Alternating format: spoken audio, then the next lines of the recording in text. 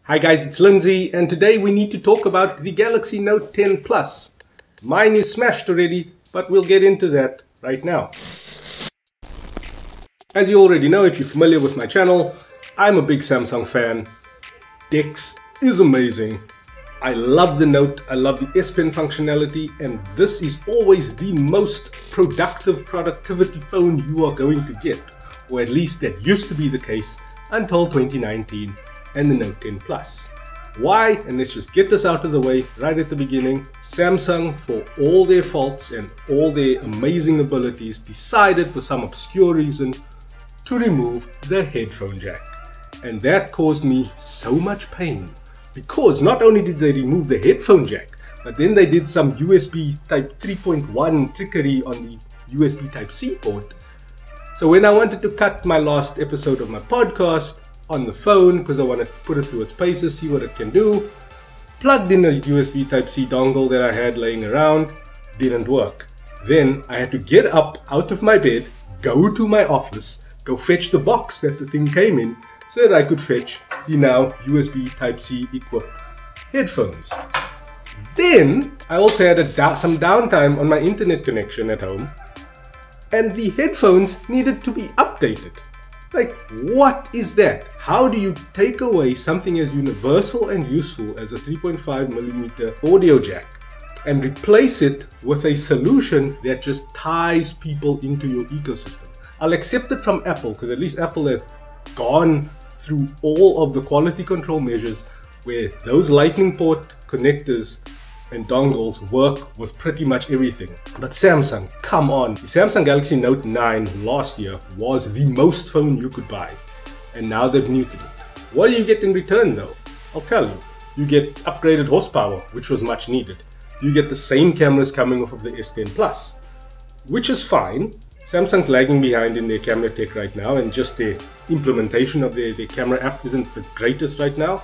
Like if you're gonna want to give people, if you're gonna say you're gonna give people pro controls, maybe put manual video controls back in your app. Just maybe, maybe, maybe. Moving on. You get the time of flight sensor on the back now. There's no meaningful difference in the bokeh effects that you can get off of this and off the S10. What I've been telling a lot of people, and I'll address it right now. If you're in the market for a new Samsung flagship phone, get the S10 Plus. You're getting very similar battery life, a similarly sized screen, equally beautiful screen. I actually prefer the look of the cameras off to the side than having the single dot dead center because it does interfere with the content a lot more now.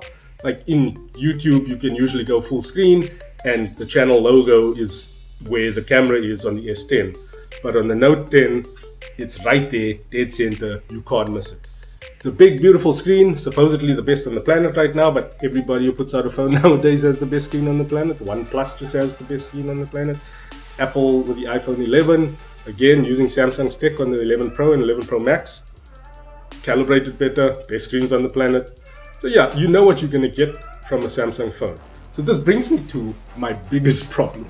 So I've dropped down the list in South Africa's tech reviewers. So I don't get sealed boxes anymore. I don't I'm not the first person to get a device from Samsung South Africa.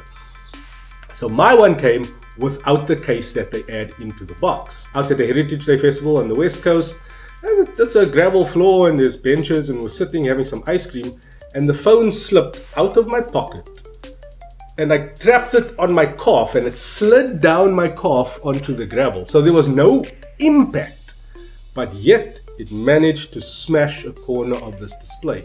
And this is the problem with these curved displays. Because we're now trying to present the illusion of having zero bezels, because people don't like to have places where they can rest their fingers anymore on their phones, I don't understand that. And we're curving these displays around the corners. There is no place to put the frame where it can meaningfully protect your 20,000 Rand device. If you just want to roll and you want to roll with your phone naked, you're going to run into a bunch of problems. Other things, Samsung still hasn't cured their palm rejection.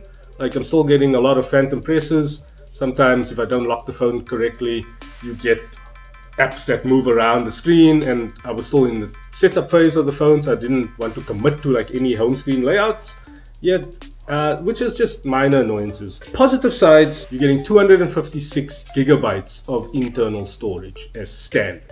That is a ton of storage. You are not going to fold that up anytime soon unless you are shooting 4K 60 all the time, every day, and not offloading anything to the cloud. I subscribe to a lot of cloud services. I manage my data very efficiently. I can get by with like 64 gigs of storage and 256. I'm never going to get there. Note 10 Plus crucially has the SD card expansion, which is also great if you are one of those media junkies um, and you're creating a lot of stuff on your phone. But then that brings me to the argument for and against this device. So for a business user, I pulled this thing out, I composed an entire PowerPoint presentation, an important PowerPoint presentation, and managed to present it using an HDMI to USB Type-C dongle on the screen using the S Pen as the remote to get between the slides. So I love the S Pen because it gives you that mouse-like control on a phone screen. This is a 6.8 inch screen. So having a fine point control allows you to do amazing things in like video editors, Adobe Rush works great. You're getting that real, real precise inputs. They're still lagging behind what Apple are doing with their, their stylus integration. There's a bit more lag than you would expect from something this powerful. They haven't upgraded the actual, like the Wacom layer that reads how the S Pen is interacting with the screen. They haven't upgraded that since for about since Note 8 actually, and that's coming to bite Samsung in the ass right now. A lot of their competitors are catching up and exceeding them in so many places. But for a business user, the Microsoft integration on here is amazing. I would like Samsung Notes to be able to save natively to OneNote, which would be great because then I'd be able to access it on more devices more swiftly. The handwriting recognition is incredible the fact that I could do an important business presentation using only a phone means that if you are spending 20,000 Rand on this as your primary computing device, as your only computer, and you're pairing it with maybe a small keyboard, and you have this S Pen, and you're building out your, your dongle ecosystem as well, this is, a, this is a great device. This is perfect for that sort of solution. Also, using DeX on a PC breathed new life into my aging uh, I think that's a 2014 laptop now. So I can run all of this horsepower natively on the laptop screen using the laptop keyboard, uh, which I like so much, on a nice big display, and then using all the HDMI outs and all the ports that are still on the laptop. Uh, that that is fantastic. Again, I'm a big DeX user as well, so I will plug this directly into my DeX dock that lives in my office, and I can use that as a computer in a pinch. I really like it. It's it's not progressing as quick as I want to. Um, with iPad OS, you're getting like full desktop browser capabilities on an iPad. Samsung needs to do something with their internet browser on DeX to just give you that full desktop browser experience. On the downsides though, if you are buying this as a casual user or a content creator, this is not the best phone you can get. One, you're gonna have issues trying to plug a microphone into this thing. Two, the cameras are not the best on the on the market anymore. Um, you're getting better manual controls on LG, and iPhone is going to outshoot you in terms of video content anyway. Those iPhone 11 cameras are incredible, I can tell you that with certainty. So where does this leave us? It's not enough for a casual consumer to buy.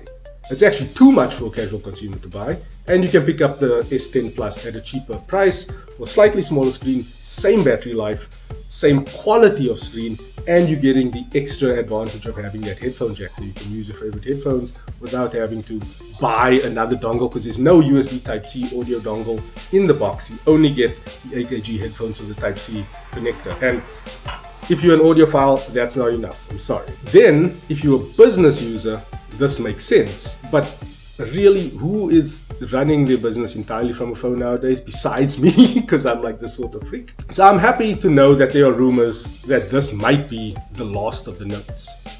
The Samsung's obviously brought out the Fold, which they are now pitching at the high-end consumer, at those business corporate guys who want to look cool in the business lounge. If you bring S Pen functionality to the Galaxy Fold, or you bring a universal S Pen situation like Huawei is doing now with the Mate 30 and the Mate 20X, where you can use their M Pen across those devices as well without having to upgrade any sorts of hardware, then you're in the right ballpark. So if you bring S Pen support to the S series, the Galaxy S series, you kill the Note and you put an S Pen natively on the Galaxy Fold and you make that the new Note device, then I think Samsung has an excellent two device strategy. Right now, Note 10 Plus, perfect if you use Microsoft services, if you are wanting to do presentations from your phone, if you're wanting to make this your primary computer. Not perfect for the casual consumer who just wants to take awesome pictures of their family. But that's just my opinion. I'm Lindsay, that opinion guy, and I'll catch you in the next one.